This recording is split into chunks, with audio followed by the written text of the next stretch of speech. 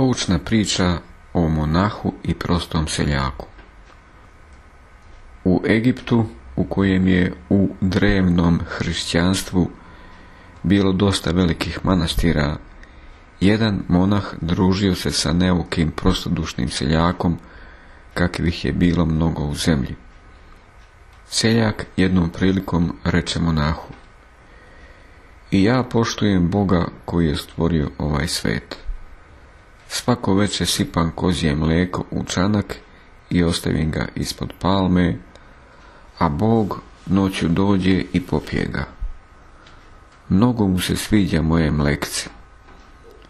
Nikad se nije desilo da u čanku ostane i kap mleka. Kada je čuo te reči, monah nije mogao da se ne nasmeje. On dobrodušno i jednostavnim rečima objasni svom prijatelju da Bogu nije potrebno kozije mlijeko. Pošto se seljak tvrdoglavo držao svoje priče, monah predloži da sljedeće noći krišom prate šta se događa, pošto čanak sa mlekom ostave pod palmom. Rečeno, učinjeno.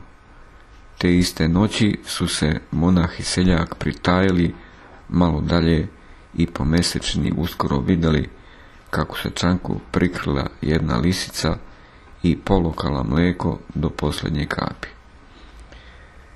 Seljaka kao grom da je udario kad je to video. Da, skrušeno priznade on, sad vidim da to nije bio Bog.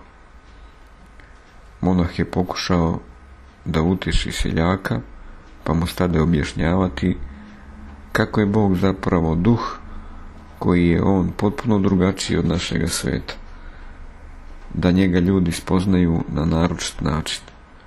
Ali seljak je samo stajao pred njim, oborene glave, a zatim je zaplakao i pošao u svoju kolibu.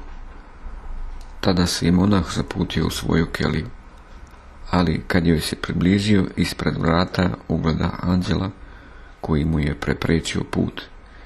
Bio je istinski zaprepašćen, pa je u strahu pao na kolena. Tada mu anđel reče, taj prostodušni čovjek nije ni učen, ni mudar, ni načitan da bi Boga poštovao na drugačiji način. Činio je to onako kako je najbolje umeo, a ti si mu svojom mudrošću i načitanošću oduzeo tu mogućnost. Možda misliš da si ispravno postupio. Eh, mudrače, jedno ipak ne znaš. Videći koliko je iskreno srce tog seljaka, Bog je svake noći slavo lisicu da ode do palme, da bi je na taj način utešio i primio njegovu žrtvu. Izvor internet.